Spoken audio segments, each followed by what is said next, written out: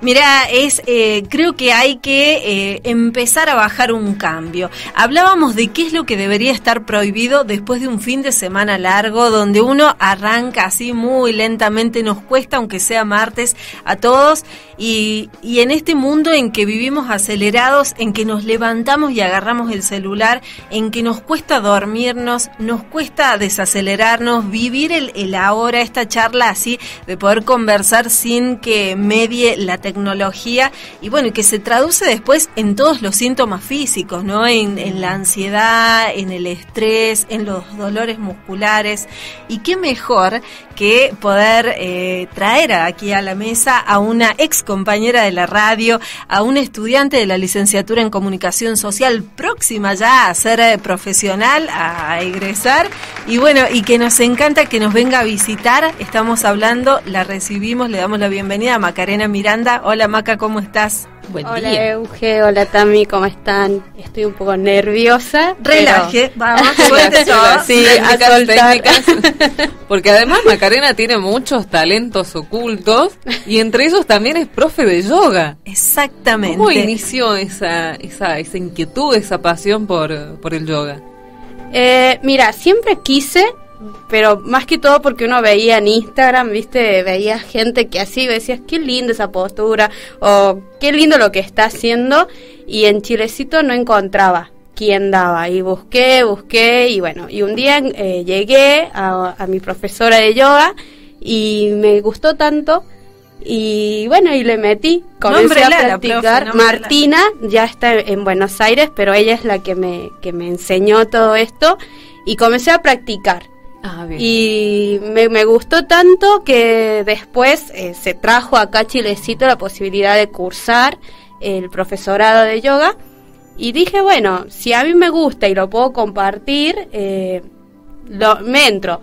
Y lo hice. Y el año pasado me recibí eh, muy, muy nueva. Y en marzo, creo, en abril, se dio la posibilidad de comenzar a enseñar. Y cerrando los ojos dije que sí con muchos miedos también porque era como algo muy nuevo y, de lo que claro y de lo que no estás acostumbrado porque viste siempre bueno siempre estuve en esto de la universidad y todo y después dije bueno me meto.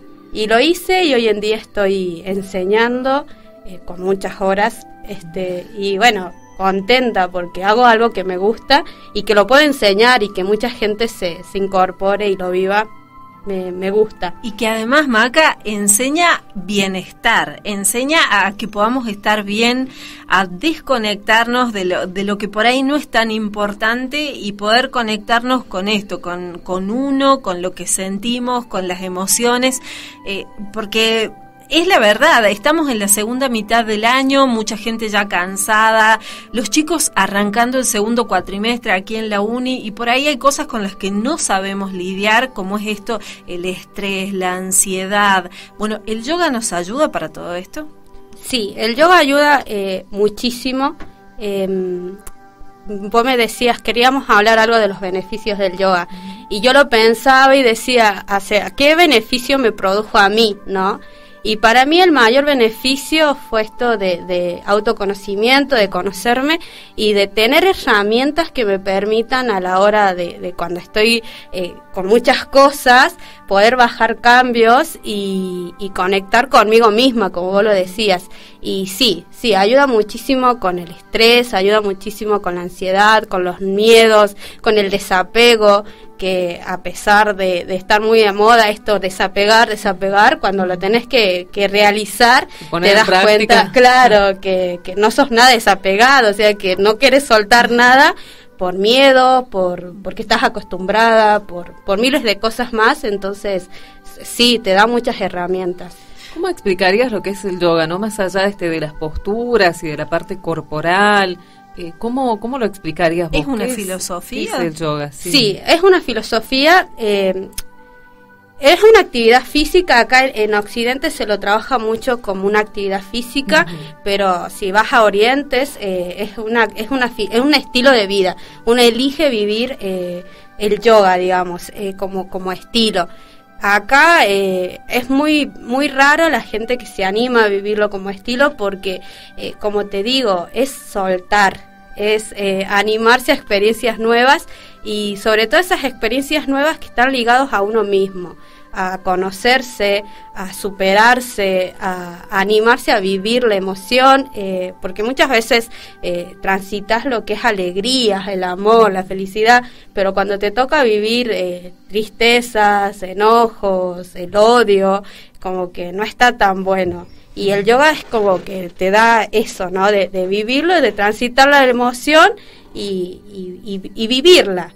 Entonces, este, es un estilo de vida que muchos lo, aplican como tal y también eh, es una autosuperación, es un autoconocimiento, sobre todo a mí me gusta mucho esa palabra, autoconocimiento, ser consciente de lo que está pasando. Eh, físicamente, porque el yoga son posturas, como verán, eh, trabajas una asana, la podés eh, manejar de mil formas, saber qué cuerpo, qué parte del cuerpo se está trabajando, pero también si vamos un poquito más allá, eh, podés darte cuenta eh, qué relación tiene un músculo con tal emoción. Entonces trabajás ese músculo de acuerdo a la emoción, eh, qué sé yo, eso es y que además lo pueden realizar eh, cualquier persona, no importa la edad o la condición física, por ahí decís, che, pero yo hace un montón que no hago actividad física, me gustaría ir a yoga, pero la verdad es que no sé si podré hacer esas posturas, uno a veces ve que son posturas un poco complicadas. Sí, cualquier persona lo puede hacer, no importa la edad que tengas.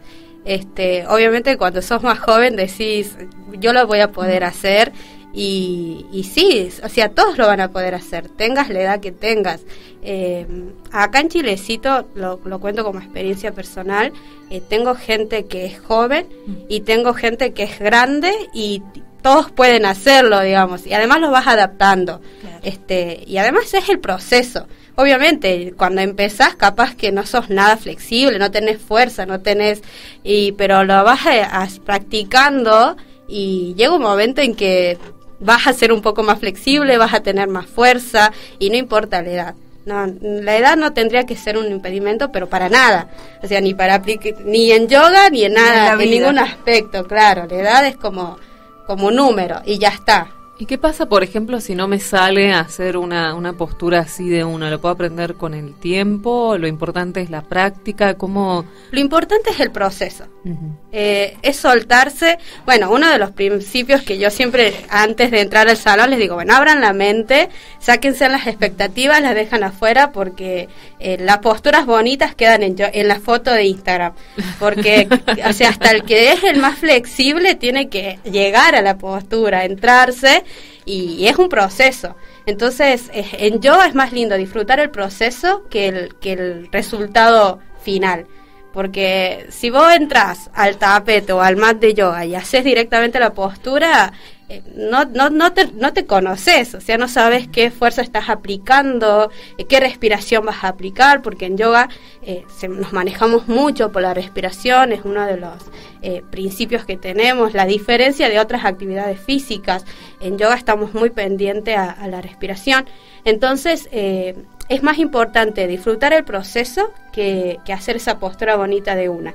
¿Y por qué es tan importante el tema de la respiración? El tema de la respiración, en yoga lo que tenemos es mucho tratar de tener la mente en el presente. Y si no respiras, o sea, estás, si no te, si no te acordás de respirar, no estás en nada en el presente. Y, la, esa respiración, estar en el presente, nos permite eh, ser conscientes de lo que estamos haciendo. Entonces, es por eso es muy importante la respiración, que no, no, significa que cuando vas al gimnasio, cuando vas a andar en bici, cuando haces otra actividad, no estés respirando, o sea, lo estás haciendo, pero esta es una respiración consciente. Vos sabes que al inhalar tengo que hacer tal fuerza, al exhalar tengo que hacer otra, entonces ahí hay una diferencia. Me gustó mucho eso que dijiste, es, es estar en el presente, o sea, si no sos consciente de tu respiración, no estás en el presente. ¿Te animás a hacernos al aire alguna introducción así de clase de, yoga? ¿Cómo, tendríamos que hacer? Porque es como dice la Tami, no solo la respiración eh, lo hacemos de manera automática en nuestro día a día, sino que como que casi todo ya forma parte de la rutina y muchas veces no tomamos conciencia. En piloto automático. Estamos en piloto automático, pero lo bueno y lo lindo es que nos empecemos a ocupar de esto, que se hable de esto, que se hable no solo de la respiración, se hable de la meditación, se hable del yoga, se habla de todo esto que, que forma parte de nuestro día a día y que hace que, que estemos más eh, acá, acá eh, estamos habitando y hay que vivir este día y hay que disfrutarlo y hay que, eh, hay una frase que dice, el dolor es inevitable, pero el sufrimiento es optativo, es opcional y la verdad es que si podemos pasar por este mundo de la mejor manera y sentirnos bien, eh, como vos decías, aplica para todas las edades. Estés estudiando, estás loca con tu trabajo, con tu casa, con los chicos, estás enfermo, estás transitando alguna enfermedad, qué bueno poder hacerlo de la mejor manera. Sí, vos sabés que eh, por ahí les digo a las chicas, porque tengo alumnos que, que están en la universidad o en la, en la vida diaria, digo, mira, eh, ante tal estrés, yo lo he vivido cuando yo tenía que rendir, estaba de, loca, porque, viste, estás nerviosa, no querés. Digo, bueno, a ver, si te sale a aplicar una respiración que practicas en la práctica de yoga y lo puedes aplicar en la vida diaria, siendo consciente de que esa respiración te ayuda a calmar o te ayuda a activar, aplícala y fíjate, si te resulta, estás aplicando yoga en la vida diaria. Este, no solamente en la práctica sea, es tratar de trascender, de llevarlo mm, afuera del aula, fuera de, de, donde lo estés realizando. Así que es, es también un desafío. Eh, así que sí, y a la vida. También en la vida universitaria lo hemos vivido todos. ¿Cuántas veces nos bloqueamos, eh, queremos salir corriendo, nos olvidamos de todo, no sabemos, no sé, o ay no llego, no, no llego, como decía Gaby que, fue a dar un examen y estuvo no sé cuánto tiempo con la cabeza pegada contra la pared, quedas como no sé. O el apego, viste, esto de, del resultado. Y si me va mal, estoy frustrada ya no, si te va mal hay otro turno de o la comparación que también es muy necesaria, no bueno, aprobé, pero no como yo quería, y el otro tuvo mejor nota que yo, pero qué sé yo, pero eh, que suele suceder y te suma un estrés, también una frustración que no está buena. No, y sumándole que... Eh, de por sí ya estás estresada, estás nerviosa y con las expectativas tuyas y las expectativas de otros, que también es como que suma, ¿no? Porque vos decís, bueno, no importa el otro, pero mal que mal influye y te terminas enfermando. Mm. Y no solamente capaz que eh, me, duele la cabeza, sino eh, entro en esto que es la ansiedad, entro en esto que es el estrés, en la angustia, y son situaciones que no están buenas y que ningún estudiante debería vivir. Que son como presiones. Yo vuelvo a esto, ¿te animás a hacernos una introducción así de clase, a ponernos en, ¿Cómo sería el inicio de una clase con Maca? Sí, sí, bueno este, eh, Emma, que nos suma ahí un poquito la música. Me siento en la postura del loto. No, yo no tengo esa flexibilidad, pero bueno, lo intento. Bueno, vamos a, alinear nuestra espalda, vamos a relajar hombros hacia abajo, lejos de las orejas. Vamos a bajar a penitas el mentón, llevarlo un poco al pecho para ser amables con nuestra columna, con nuestra espalda. Y las voy a invitar a que ustedes comiencen a percibir, a observar todo lo que las rodea. Vamos a aumentar nuestros sentidos, sobre todo el sentido de el oído. Vamos a escuchar y en cada inhalación y en cada exhalación profundizar un poquito más. Y esos sonidos no nos van a molestar y no nos van a agradar, simplemente van a estar ahí, van a sumar a la práctica. Y una vez que estamos conscientes de lo que nos rodea, vamos a comenzar a sentir nuestro cuerpo, cómo se sienten sus piernas, sus caderas, abdomen, pecho, hombros, brazos, espalda. Percibo, observo. Trato de no corregir, simplemente hago este rol de observadora. Una vez conscientes de nuestro cuerpo, vamos a comenzar a percibir nuestra respiración. Y las voy a invitar a que esta respiración la dirijamos. Vamos a inhalar, abdomen, tórax, clavícula. Y al exhalar lo vamos a hacer desde el abdomen, tórax, clavícula. Conscientes del espacio, de nuestro cuerpo y de nuestra respiración, vamos a llevar nuestras manos al centro del pecho en un gesto de oración, pranamudra, y desde acá, con una sonrisa en nuestro rostro, vamos a abrir mente, corazón, vamos a escuchar nuestro cuerpo y prometerlo cuidar. Y desde acá, inhalo y al exhalar abro nuestros ojos y nos saludamos. Namaste. Oh, namaste. Perfecto. Ay, me sentí muy bien. Yo también, más allá que lo escuchaba Lema de fondo, que seguía hablando. Claro. buena. La verdad es que fue un momento muy necesario, también muy, lindo. Me quiero ir con Mira qué lindo para cerrar el programa post feriado con una clase de maca. Ah. Bueno, la excusa era este día de la relajación que todos deberíamos hacernos este espacio para nosotros, para cuidarnos, para pensar en uno. Pero bueno, queríamos que vengas, queríamos que nos que nos cuentes un poquito eh, de qué se trata esto del yoga, de, de esta disciplina, de esta arte, de esta filosofía. Nos enteramos de casualidad por por otra compañera, por Mariela, a quien le agradecemos también por el dato y bueno, ¿a dónde se puede sumar la gente? ¿A dónde te puede encontrar para tomar estas clases? Bueno, actualmente estoy dando en Alma, en el shopping. Eh, bueno, hay diversos horarios, eh, así que bueno, después eh, les puedo pasar si quieren. Pero bueno, estoy dando ahí y también estoy dando clases particulares. Este, ahí es con objetivos más personales, ¿viste? Lo que cada uno quiere ir trabajando y con una guía también, no es que vienen y me dicen quiero hacer esto y yo le digo sí, dale de una, sino es como que lo vamos trabajando juntos. Así que bueno, estoy en el shopping en Alma y estoy dando clases particulares.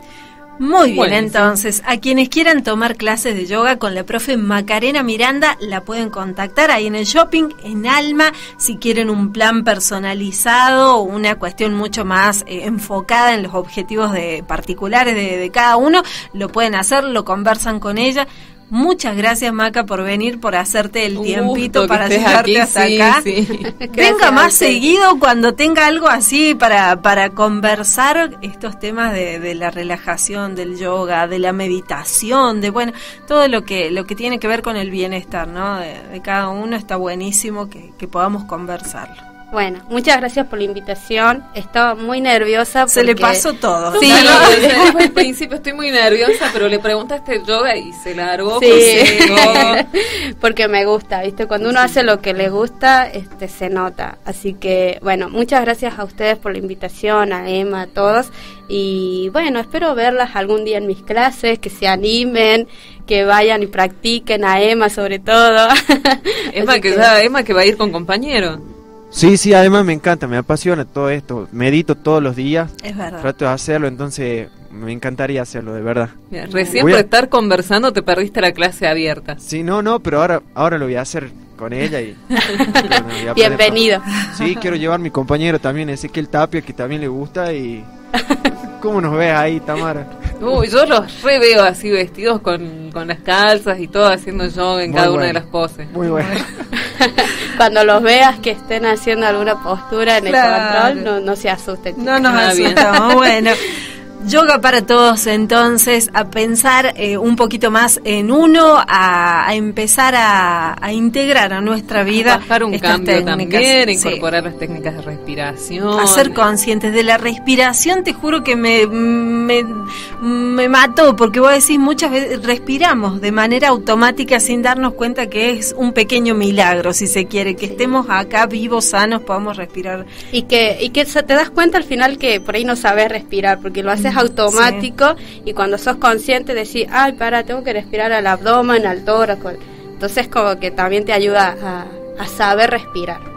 Maca, las puertas de la radio abiertas siempre para cuando quieras visitarnos. Es un gusto haberte recibido y bueno, vamos a seguir en contacto. Gracias. Macarena Miranda estuvo con nosotros hablándonos un poquito acerca de los beneficios del yoga y son las 12 y 56 ya, casi casi que nos vamos. No nos dimos cuenta, se nos pasó rapidísimo este bloque, se nos pasó rapidísimo el programa, iniciando